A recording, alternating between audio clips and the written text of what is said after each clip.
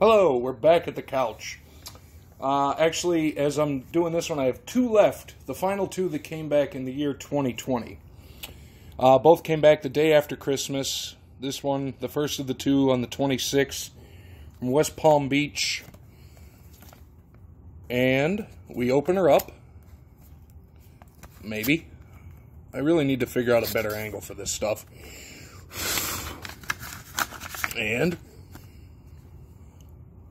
Bob McAdoo, great Hall of Fame basketball player, a 1989 North Carolina collegiate collection. Please pause for the details.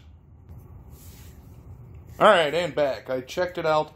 I sent that one to him uh, January 30th of 2020 uh, to an address in Boca Raton, Florida.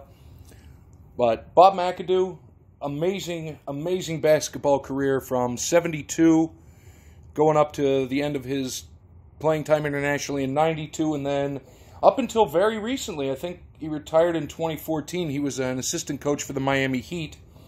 So i think what would that have been three nba championships uh, in that time? Because he was there from 95 to 14 yeah three championships because i don't really follow basketball as closely as I do with other sports, but uh, inaugural class of the College Basketball Hall of Fame in 2006, elected to the Naismith Basketball Hall of Fame up in Spring Springfield, almost in Springdale, but Springfield in 2000. Um, almost 19,000 career points.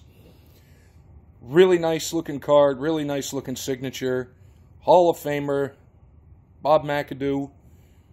There you go.